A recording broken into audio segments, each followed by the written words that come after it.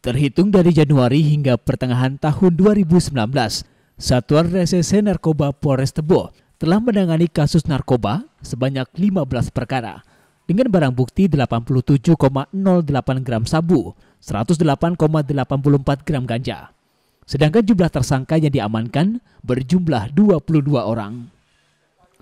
Kasat Res Narkoba Polres Tebo Ibtu Randy Reynaldi mengatakan, jika dilihat data tersangka yang tertangkap, profesinya tidak jauh berbeda dengan tersangka yang ditangkap pada tahun 2018, yakni mayoritas pengangguran dan petani, bahkan merupakan pengedar.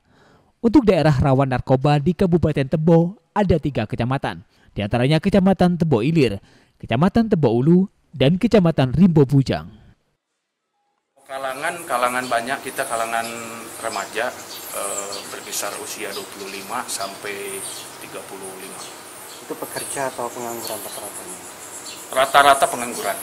Rata-rata pengangguran dan kalau pekerja pun itu kerja tani atau kebun.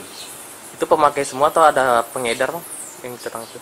Untuk yang kami tangkap itu khusus untuk pengedar. Arif Rizal, Jambi TV.